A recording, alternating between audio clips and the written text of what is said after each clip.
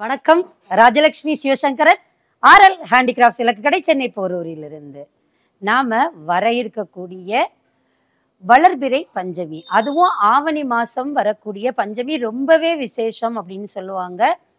கருட பஞ்சமி அப்படின்னு சொல்லுவாங்க. இந்த பஞ்சமியில் எப்படியெல்லாம் அம்பாளை வழிபடலாம் அப்படின்றதுக்காக தான். ஏன்னா போன பதிவிலேயே அம்பாளுக்கு வந்து நீங்கள் எந்த வரைமுறையும் இல்லை நீங்கள் இப்படி வழிபடலாம் அப்படின்னு நான் சொல்லியிருந்தேன். அப்படியும் கூட ஒரு சில பேர் நான் எனக்கு ஏதாவது பர்டிகுலராக ஒரு வழிமுறை ஒன்று சொல்லுங்களேன் அப்படின்னு சொல்லி நிறைய பேர் ஃபோன்லேயும் கேட்குறீங்க அது மாதிரி கமெண்ட்லேயும் போட்டிருக்கீங்க. ஸோ அவங்களுக்காக தான் இந்த பதிவு. சமீபத்தில் ஒரு த்ரீ டேஸ் பிஃபோர் வந்து உத்தரகோசமங்கை போயிட்டு வந்தேன். உத்தரகோசமங்கை அம்பாளுக்கான ஸ்தலம் எனக்கு அது அங்கே ஒரு போகணும்னு ரொம்ப நாள் ஆசை இருந்தது. அங்கே போனதுக்கப்புறம் அந்த ஸ்தலத்தோட இதெல்லாம் பார்க்கும்போது ரொம்ப அழகாக இருந்தது. பொதுவாகவே வாராகி ஒன்று நிற்கிற கோலத்தில் பார்த்துருக்கோம் உட்கார்ந்துருக்கிற கோலத்தில் பார்த்துருக்குறோம் அங்கே இருக்கக்கூடிய அம்பாள் இந்த கூப்பிடு எந்திரிச்சு வர்றேன் அப்படின்ற மாதிரி அவ்வளவு அழகா நமக்காக காத்துக்கிட்டு இருக்கா. நமக்கு உதவி செய்யறதுக்காக நம்மளுடைய வேண்டுதலை நிறைவேற்றுறதுக்காக காத்துக்கிட்டு இருக்கக்கூடிய ஒரு கோலமா எனக்கு அந்த அம்பாள் காட்சி கொடுத்தா. அவ்வளோ அழகா தங்க கவசத்துல வச்சிருந்தாங்க. இந்த தங்க கவசம் இப்பதான் சமீபத்துல செஞ்சிருக்காங்க அப்படின்னு சொன்னாங்க. அந்த வாராகி சுயம்பு வாராகின்னு சொல்றாங்க. பக்கத்திலே வந்து மங்கை காளின்னு சொல்லி உள்ளேயே அந்த சன்னிதானத்துக்குள்ளேயே மங்கை காளின்னு ஒரு அம்பாள் இருக்காங்க. அந்த அம்பாள் முதல்ல இருந்ததாகவும் அதுக்கப்புறம் சுயம்புவா இந்த வாராகி உருவானதாகவும் சொல்றாங்க. அவ்வளவு விசேஷம். அங்க நம்ம அரைச்சி கொடுக்கக்கூடிய மஞ்சள். அங்க போனோம் அப்படின்னாலே கோவில் வாசல்ல கடையெல்லாம் கடை எல்லாம் இருக்கு. மஞ்சள் நம்மளுக்கு கொடுக்குறாங்க. நம்ம மஞ்சள் வாங்கிக்கலாம். வாங்கிக்கிட்டு அங்கே உள்ள அவ்வளோ அம்மி கல் போட்டு வச்சுருக்காங்க. அந்த அம்மியில் நம்மளாவே மஞ்சள் தட்டி அரைச்சி அதை கொண்டு போய் அம்பாள்கிட்ட சேர்க்கலாம். அதை அவ்வளோ அழகாக அம்பாள் கொண்டு போய் வச்சுட்டு அன்னைக்கு தங்க கவசம் அப்படின்றதுனால அம்பாள் பாதத்தில் வச்சு அப்போ அங்கே இருக்கிற மஞ்சளை நம்மளுக்கு கொடுக்குறாங்க. இந்த மஞ்சள் வந்து தீராத நோய்களை தீக்கும் அப்படின்றாங்க. இந்த மஞ்சளை நம்ம சாப்பிடலாம். நாம இந்த மஞ்சளை வந்து வச்சிருக்கிற இடமே வந்து சுபிட்சமா மாறும். வீட்டில் எதுனே தெரியாம ஒரு சில குழப்பங்கள் என்ன நடக்குதுன்னே புரியல அப்படின்னு இருக்கக்கூடிய ஒரு வித மந்த நிலை இந்த மாதிரி எல்லாம் இருக்கு அப்படின்னா அந்த மஞ்சளை கொண்டு வந்து வைக்கும்போது நமக்கு அந்த நிலை மாறுன்றாங்க அந்த மஞ்சள் வடிவுல அம்பாலே நம்ம வீட்டுக்கு வருவா அப்படிங்கிறாங்க. அவ்வளோ விசேஷம் அந்த மஞ்சள். அந்த மஞ்சளும் எனக்கு கிடச்சிது. அதே மாதிரி அந்த கோவிலுக்கே முத முதல்ல போகிறோம் அவ்வளோ அழகாக கூப்பிட்டு போய் அம்பாள் பக்கத்திலே நிப்பாட்டி வச்சு கிட்டத்தட்ட இருபது நிமிஷம் நாங்கள் அம்பாள் பக்கத்திலே இருந்தோம். நான் மனோன்மணியமா எல்லாருமே போயிருந்தோம். அந்த அம்பாளை வந்து பார்த்துக்கிட்டே இருக்கலாம். நகலவே மனசு இல்லை அது ஒரு ஒரு பிரம்மாண்டமாக ஜைஜாண்டிக்கா அம்பாள் அவ்வளோ பக்கத்தில் நின்று பார்த்தது அவ்வளோ சந்தோஷமாக இருந்தது. அந்த சந்தோஷத்தோட வெளியில் வந்தோம். வந்தப்போ அங்கே இருந்த அர்ச்சகர் வந்து எங்கள் கிட்டே பேசினாரு எங்கேருந்து வர்றீங்க? அப்படின்னு சொல்லி கேட்டு பேச ஆரம்பித்தார் பொதுவாகவே எனக்கு இந்த வாராகி கோவிலுக்குள்ளெல்லாம் போகும்போது அங்கே இருக்கக்கூடிய அந்த அர்ச்சகர்கள் அங்கே பூஜை பண்ணுறவங்க அவங்கெல்லாம் கொஞ்சம் வந்து ஒரு மாதிரி ரொம்ப கராராக இருக்கிற மாதிரி ரொம்ப வேகமாக இருக்கிற மாதிரி ஒரு ஃபீல் இருக்கும். ஆனால் இங்கே இருக்கிறவங்க ரொம்ப சாந்தமாக இருந்தாங்க. எனக்கு ரொம்ப சந்தோஷமாகவும் இருந்தது. பேசிக்கிட்டே இருந்தாங்க. நீங்கள் எங்கேருந்து வர்றீங்க? என்ன பண்ணுறீங்கன்னு என்கிட்ட கேட்டோன்னே நான் விளக்கு கடையில இருந்து வர்றேன். போரூரில் இருக்கோம். வாராகிக்கு நாங்கள் தான் விளக்கு பண்ணோம் அப்படின்னு சொன்னோம். ஏதோ நம்மளுடைய வருகைக்காக காத்துக்கிட்டு இருந்த மாதிரி அவங்களும் எங்ககிட்ட ஒரு விஷயம் கேட்டாங்க. அது கூடிய சீக்கிரம் நிறைவேற்றுறதுக்கு அம்பாளுடைய அனுகிரகம் எங்களுக்கு கிடைக்கும் அப்படின்ற நம்பிக்கையோட அது நிறைவேறும் போது உங்களுக்கு கண்டிப்பாக எல்லாருக்கும் சொல்லிட்டு தான் அதையும் கொண்டு போய் அம்பாள்கிட்ட சேர்ப்பேன். எங்களுக்காக நீங்களுமே வேண்டிக்கோங்க. அந்த பிரார்த்தனை வந்து அவங்க எங்ககிட்ட கேட்ட அந்த ஒரு விஷயம் சீக்கிரம் நாங்கள் நிறைவேற்றி கொடுக்கணும்.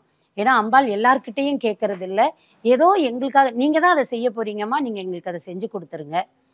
பேசி ஒரு ரெண்டு நிமிஷத்தில் அதை கேட்டாங்க. அதுதான் எங்களுக்கு பெரிய ஆச்சரியம். ஏதோ நம்ம வருவோம். நான் நீ தான் அதை நீ உனக்கு நான் உனக்கு வேலை ஒரு வேலை ஒன்று வச்சிருக்கேன்ற மாதிரி அதை சொன்னாங்க. ரொம்ப சந்தோஷமாக இருந்தது. இப்போ சீக்கிரம் திரும்பவும் உத்தரகோசம் அங்கே போக போகிறேன் அப்படின்ற நினைப்போடு அங்கேருந்து கிளம்பி வந்தேன். அதையும் உங்ககிட்ட சொல்லிட்டு இந்த வரக்கூடிய இந்த வளர்பிறை பஞ்சமியை நாம எப்படி கொண்டாடலாம் அப்படின்றதுக்காக தான் வளர்பிறை பஞ்சமி நம்மளுக்கு வாழ்க்கையில வளர்ச்சியை கொடுக்கும்னுவாங்க. தேய்பிறை பஞ்சமி நம்மக்கிட்ட இருக்கக்கூடிய கஷ்டங்கள் துயரங்கள் எல்லாத்தையும் கரைச்சி கொடுக்கும் அப்படின்னுவாங்க. ஸோ ஒரு சில பேருக்கு தேய்பிறை பஞ்சமி தான் அவ்வளவு பிடிக்கும். ஸோ இது வந்து அவங்கவங்களுடைய விருப்பம் தானே தவிர ஒரு சில பேர் எல்லா பஞ்சமியும் நான் கொண்டாடுவேன் அப்படின்னு கொண்டாடுவாங்க. ஸோ அப்படி அம்பாளுக்கு உகந்த நாள். நாம வீட்டில் வாராகி அம்மனை வச்சிருக்கோம் அப்படின்னாலே நாம கொண்டாட வேண்டிய நாள் அப்படின்னா ஒரே ஒரு நாள் கூட எடுத்துக்கலாம் இந்த பஞ்சமியை எடுத்துக்கலாம். இந்த பஞ்சமி மாசத்துக்கு ரெண்டு தடவை வரும். அதாவது அமாவாசையிலிருந்து அஞ்சாவது நாள் பௌர்ணமியிலிருந்து அஞ்சாவது நாள். நம்ம இந்த சதுர்த்திக்கு எல்லாம் போயிட்டு பிள்ளையாருக்கு நம்ம கும்பிடக்கூடிய சங்கடகர சதுர்த்தி அப்படின்னு சொல்லுவோம். சதுர்த்திக்கு வந்து நம்ம போய் பிள்ளையாரை கும்பிடக்கூடிய ஒரு நாள் இருக்கு இல்லையா? அதுக்கு மறுநாள் வரக்கூடிய நாள். அதாவது அஞ்சாவது நாள் தான் பஞ்சமி அப்படின்னு சொல்கிறோம் இந்த பஞ்சமி நாளில் எனக்கு பர்டிகுலராகவே நீங்கள் சொல்லுங்க அப்படின்னு கேட்டிங்கன்னா அம்பாளுக்கு அஞ்சு முகத்தில் விளக்கு போட்டு நீங்கள் ஏற்றுங்க உங்களுக்கு வேண்டுதல் அந்த அளவுக்கு ஒரு வேண்டுதல் இருக்குது இல்லை எனக்கு அம்பாள் வேண்டுதலெல்லாம் நிறைவேற்றிட்டா நான் நல்லபடியாக இருக்கேன் அப்படின்றவங்க எப்பவும் போல் சாமி கும்பிட்டுக்கோங்க. இல்லை எனக்கு பர்டிகுலராக ஒரு வேண்டுதல் இருக்குது எனக்கு அதை அம்பாள் நிறைவேற்றியே கொடுத்தாகணும் அப்படின்னு நினைக்கிறவங்க மனசால அம்பாள்கிட்ட சங்கல்பம் செஞ்சுக்கிட்டு நீங்கள் இந்த ப இந்த பூஜை பண்ணோம் அப்படின்னா ரொம்பவே விசேஷம். அதுவும் பஞ்சமி திதியில பிறந்தவங்க. இப்போ ஒவ்வொரு திதிக்குமே ஒவ்வொரு பலன் இருக்கும். பஞ்சமி திதியில அதாவது இந்த அமாவாசையோ பௌர்ணமியோ முடிஞ்ச அஞ்சாவது நாள்ல பிறந்தவங்க கண்டிப்பா இந்த பூஜை பண்ணணும் அப்படின்னே சொல்றாங்க. அவங்களுக்கான பூஜைன்னே சொல்றாங்க. அது மாதிரி வாராகி அம்பாளுக்கான பூஜையும் இந்த வ- பஞ்சமி பூஜை தான். இந்த பூஜையில நாம கருப்பு உளுந்த வடை அம்பாளுக்கு படைக்கலாம். அவளுக்கு அபிஷேகம் அப்படின்னா மஞ்சள் அரைச்சு அவளுக்கு நம்ம வந்து அவளுக்கு அபிஷேகம் பண்ணலாம். மஞ்சள் அரைக்கிறதோ அல்லது வீட்டில் இருக்கிற மஞ்சளையோ நம்ம கரைச்சி அம்பாளுக்கு அபிஷேகம் பண்ணலாம். வீட்டில் இருக்கக்கூடிய அம்பாளுக்கு நான் சிம்பிளாக எப்படிங்க அபிஷேகம் பண்ணுறது அப்படின்னு கேட்டிங்கன்னா வீட்டில் இருக்கிற பொருளே போதும். பால் தயிர் மஞ்சள் அது மாதிரி கொஞ்சம் குங்குமம் இளநீர் இந்த மாதிரி ஒரு அஞ்சு பொருள். அம்பாளுக்கு எல்லாமே அஞ்சஞ்சா கூட எடுத்து வச்சு கூட நீங்கள் பூஜை பண்ணலாம். அதுவே வந்து அம்பாளுக்கு வந்து உங்களுக்கு அவ்வளோ ஒரு அனுகிரகத்தை கொடுக்கும். ஏன்னா மனசுக்குள்ள நான் இதெல்லாம் செஞ்சுட்டேன் அப்படின்ற ஒரு திருப்தியே நமக்கு அந்த பலனை கொடுக்கும். ஸோ அதுக்காகவாது நம்ம இந்த பூஜையை பண்ணலாம்.